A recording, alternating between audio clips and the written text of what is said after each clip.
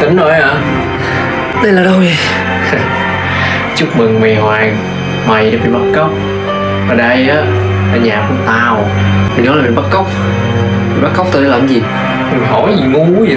Bắt cóc mày để tống tiền gia đình mày chứ làm gì? Cái gì? Tao nói là tao bắt cóc mày để tống tiền gia đình mày.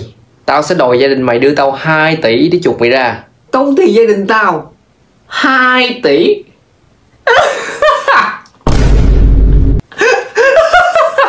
Mày cười gì á? Từ từ từ. À, Thôi Mày nghĩ sao ba mẹ tao chịu bỏ ra 2 tỷ để chuộc tao ra vậy? Ủa chứ sao không? Mày là con ba mẹ mày. Ba mẹ mày không chuộc mày thì ai chuộc?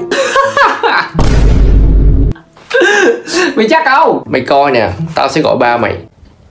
Alo? Chào ông Tôi là kẻ bắt cóc Và tôi đang giữ thằng Hoàng con trai của ông. Thằng Hoàng hả? Đúng vậy thằng Hoàng. Bây giờ nếu mà ông không đưa tôi 2 tỷ á Thì tôi Sao? Cúp máy rồi đúng không? Ờ cúp máy rồi. Chắc nghe không rõ hay gì á Để tao gọi lại thử coi. Thuê bao quý khách vừa gọi hiện không liên. Rồi sao rồi? Thôi bao rồi. Mày cười đó tao đá mày bây giờ. Tao nói rồi mày không có làm được đâu. Im. Bây giờ tao sẽ gọi mẹ mày nè.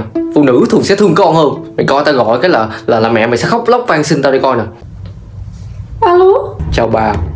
Tôi là kẻ bắt cóc Và tôi đang giữ con trai của bà. Trời ơi con ơi được con. Đó thấy chưa? Tao nói rồi có sai đâu. Phụ nữ thường thương con hơn mới nói cái là khóc quá thì khóc luôn nè Mày coi tao moi tiền gia đình mày nè. Bây giờ bây giờ ông muốn cái gì đây Bây giờ bà chỉ cần đưa tôi 2 tỷ Thì tôi sẽ thả thằng Hoàng ra. Ok vậy để bên tôi chuẩn bị Khoan Thằng Hoàng hả? Đúng vậy thằng Hoàng. Bà phải đưa tôi 2 tỷ. Nếu không á Cướp máy nữa Mày con nuôi hay cái gì vậy Im Tao gọi lại coi Phì ghê luôn á Alo cái gì? Tôi đang giữ con của bà, bà không muốn chuột nó ra hả? Bắt thằng Hoàng đúng không? Ừ đúng rồi, thằng Hoàng Tôi giữ luôn đi nha, bye Ê khoan khoan khoan khoan Cái gì? Mà sao tự nhiên con bà bà không muốn chuột nó ra gì? Chuột nó ra làm cái gì? Lớn nhà đầu rồi, khóa học hành có 3 điểm Về nhà cứ làm việc nhà thì không chịu làm. Đã vậy còn không có ai hốt nữa. Thà nhà nhà tôi cấm không do nó có bồ. Mà đằng này còn khuyến khích nó có bồ nữa, Mà cũng không làm được. Nó vô dụng vậy. Giờ có ông hốt hốt dữ luôn đi.